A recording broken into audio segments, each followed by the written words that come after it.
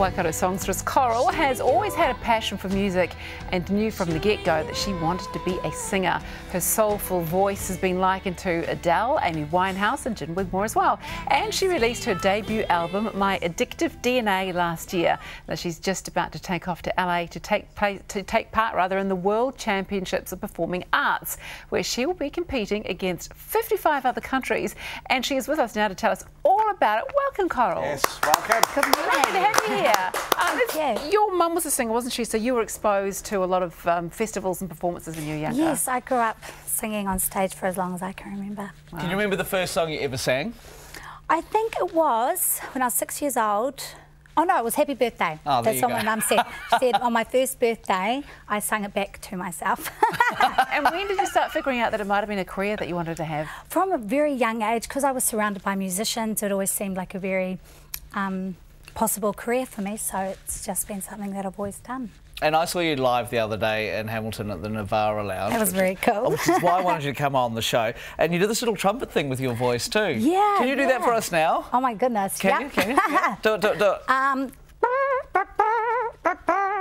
and honestly, she sings and then just adds her own trumpet in. It's like a full band. It's amazing. I've been practicing it quite a bit. It oh, gets people's attention. So tell us a little bit about this competition. How did you get selected and what's it all about? Well, I, when I was doing promotion for my album last year, my mum had been making a lot of little clips of the promotion that we were doing for it. And there's a radio station called Free FM in Hamilton, and one of the scouts from the competition saw the video and just wrote to me on Facebook. Ooh, so you're yeah. heading over to LA? Yes. And how many performances do you have to do? Just the one, or? I'm going to do. I'm doing six in total. I'm going to do four covers and then two original songs. And what happens if you win? What does it mean? Um, you get called the performer of the world. and there's so many different opportunities with record labels and management deals and scholarships.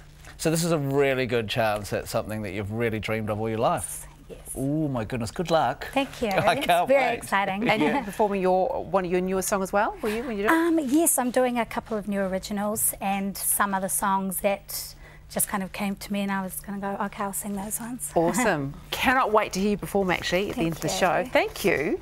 Nice to have a quick chat. I'm going to look forward to uh, hearing that and, and, hearing how Coral gets on in LA's World Championships of Performing Arts. Her album, My Addictive DNA, is available now and she's just about to release her latest single, which she's going to be performing for us here very, very soon. Yeah, you don't want to miss that.